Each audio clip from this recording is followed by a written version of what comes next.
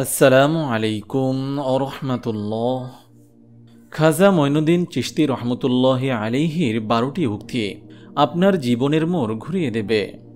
খাজা শব্দের অর্থ সম্মানিত গুরু জ্ঞানী।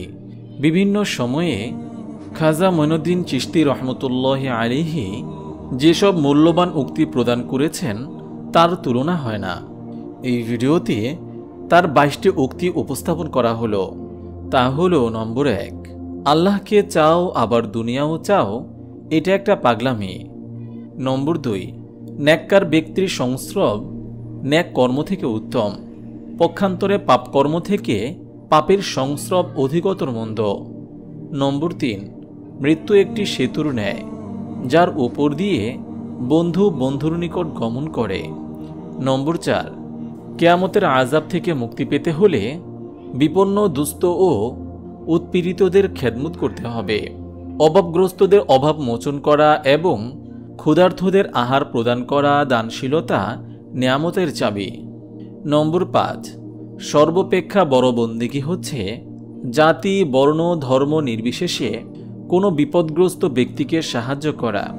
নম্বর ছয়, তিনটি বস্তুর মাধ্যমে ইমানের পরিপূর্ণতা লাভ হয়। আল্লাহ ভীতি আল্লাহ প্রাপ্তির কামনা, আল্লাহর প্রেম। নম্বর সাত, তারাই প্রকৃত আল্লাহ প্রেমিক, যাদের হৃদয় প্রতি মুহূর্তে জিকিরে মগ্ন থাকে, কিন্তু মুখ দেখে তা বোঝা যায় না। নম্বর আট, যারা দুধের শিশুর ন্যায় জ্ঞানের উপযোগী, তাদেরকে পোলাও কুরমার মতো অতি উঁচু স্তরের জ্ঞান দিও না। নম্বর নয় রুটি রুজির চিন্তা ছাড়ো এবং রিজিক দাতাকে চেনো।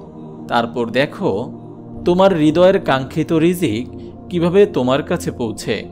নম্বর দশ, কোনো বিপদগ্রস্ত লোকের সাহায্য করাই সর্বপেক্ষা বড় ইবাদাত নম্বর এগারো, আল্লাহ পাক যাদের ভালোবাসেন, তাদের মাথার ওপর বাড়িধারার মতো বিপদ বর্ষণ করেন। নম্বর বারো, দান করলে আল্লাহর নেয়ামত লাভ করা সম্ভব। নম্বর তেরো কামেল লোকের নিদর্শন এই যে তিনি মৃত্যুকে বন্ধু মনে করেন এবং প্রতিটি শ্বাস প্রশ্বাসে আল্লাহকে স্মরণ করেন। নম্বর চোদ্দ। মোহাব্বতের নিদর্শন এই যে, বান্দা আল্লাহ তালার ইবাদত করবে এবং সাথে সাথে তার এই ভয়ও থাকবে যেন তার নৈকট্য হতে সে বঞ্চিত না হয়। নম্বর পনেরো। পিতামাতার দিকে ভক্তিপূর্ণ দৃষ্টিতে তাকানো ইবাদাত। নম্বর ষোলো। হতভাগা সেই লোক যে নিজেকে গুনাহের কাজে লিপ্ত করে। নম্বর সতেরো, পরিশ্রম ব্যতীত কোনো কিছুই লাভ করা সম্ভব নয়। নম্বর আঠারো, তওবা শুরু করতে হয় পাঁচটি বিষয় দিয়ে। জাহেলের সংসর্গ পরিত্যাগ করা, ভ্রান্তদের থেকে দূরে থাকা, অবিশ্বাসীদের সান্নিধ্য পরিহার করা, আল্লাহপ্রিয় বান্দাদের সোহবত অবলম্বন করা ও ন্যাক কাজে মনোনিবেশ করা। নম্বর উনিশ, সত্যিকার বন্ধু ওই ব্যক্তি যে বন্ধুর দেওয়া বিপদকে হাসিমুখে গ্রহণ করে। নম্বর বিশ, একজন মুসলিম ভাইকে বেজ্যোতি বা অপদস্থ করলে নিজের যত ক্ষতি হয়, সারা জীবন গুনার কাজে নিজেকে লিপ্ত রাখলেও তত ক্ষতি হয় না।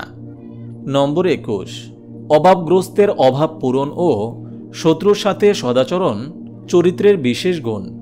নম্বর বাইশ, পৃথিবীতে প্রত্যেক জামানায় হাজার হাজার অলি বিদ্যমান থাকেন। তাদের অনেকেই থেকে যান দৃষ্টির আড়ালে। সুতরাং পৃথিবীকে কখনোই আউলিয়াশূন্য মনে করো না।